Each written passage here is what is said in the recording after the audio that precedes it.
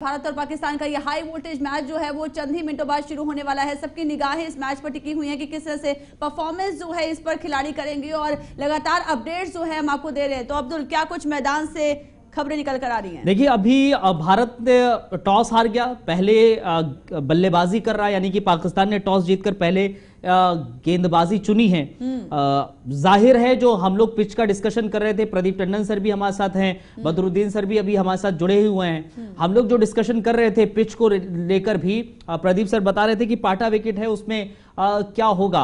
अब गेंदबाजी के लिहाज से कैसी पिच होने वाली है? प्रदीप टंडन, सर, एक चीज़ हमें भी समझाइए जरा, जो पाकिस्तान की प्लेइंग इलेवन है, उसमें एक है रिप्लेसमेंट एक चेंज हुआ है। तो क्या नज़र आ रहा है कि अगर पहले गेंदबाजी करने उतर रही है पाकिस्तान की टीम तो अब भारतीय टीम को जो हम लोग डिस्कशन करते भी रहे हैं ओपनिंग पेयर इसको थोड़ा तो लंबा खेलना होगा। बिल्कुल।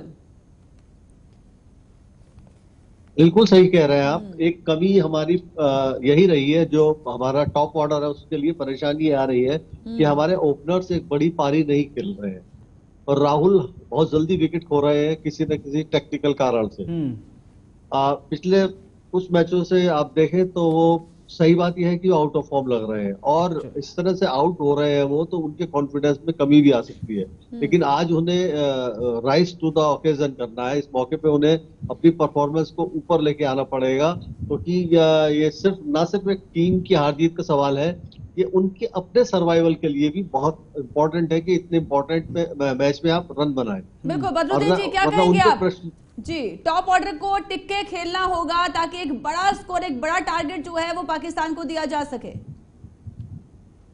देखिए बिल्कुल ओपनिंग स्टार्ट तो हमें चाहिए चाहिए होगा अच्छा कि जब तक ओपनिंग स्टार्ट हमें अच्छा नहीं मिलेगा तब तक हम लंबा स्कोर नहीं कर सकते। हम्म। क्योंकि अभी तक दोनों मैच जो हमें देखे हमने अभी से पिछले मैच जो हमारे जो हुए हैं उसमें हमारा ओपनिंग अच्छा स्टार्ट नहीं मिला हमें और उसी की वजह से हमें जो प्रॉब्लम थोड़ी सी आई वो उसी की वजह से आई।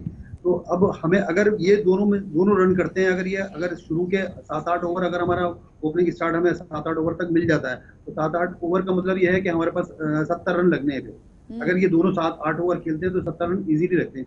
और बात के जो बारह तेरह ओवर बचते हैं अगर हमारा विकेट बचा हुआ है तो हम उसमें इजीली 120 रन इजीली लगा सकते हैं। अच्छा एक और चीज़ है एक और चीज़ है। हम ठीक है अभी गेंदबाजी के लिहाज से हम पाकिस्तान को देखें बेहतरीन गेंदबाजी की जा रही है कुछ इंजर्ड हम्म। हुए लेकिन जो मतलब जो टेक्निक है हम्म। गेंदबाजी की वो कैसी है आपके हिसाब से दूसरा पॉइंट है कप्तानी के लिहाज से हमने पिछले मुकाबले में भारत के साथ जो मुकाबला हुआ पाकिस्तान का तो बाबर की आ, मुझे ऐसा लगा कि थोड़ा सा डिसीज़न उनके गलत हुए और उस उन गलत डिसीज़न की वजह से टीम इंडिया को उसका फ़ायदा हुआ एक गेंदबाज पेसर का उन्होंने बहुत जल्दी करवा दिया। पेसर्स के बाद में नहीं रखे एक भी ओवर। तो वो शायद डिसीज़न नहीं ले पाए थे।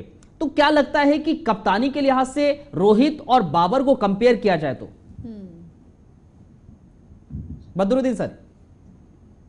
देखिए मैं रोहित को ज़्यादा बड़ा अच्छा कप्तान मानता हूँ उसके आदम आदम के अलावा क्योंकि आदम अभी नया है उसे हम्म। जैसे जैसे करता रहेगा कप्तानी लेकिन जो आप कह रहे हैं कि उनकी कमियाँ नहीं वो वो मैं कमियाँ नहीं कहूँगा। ठीक है। सिचुएशन ऐसी बनती गई कि सिचुएशन जडेजा वहाँ पर बैटिंग कर रहे थे तो वहाँ पे वो लेफ़्ट आर्म स्पिनर को लगाना नहीं चाह रहे थे। हाँ। इसलिए उन्होंने मीडियम पेसर को चाहा कि भाई मीडियम पेसर से जडेजा को आउट करवाया जाए हम्म। तभी हम लेफ़्ट आर्म स्पिनर को अपने लगाएँगे।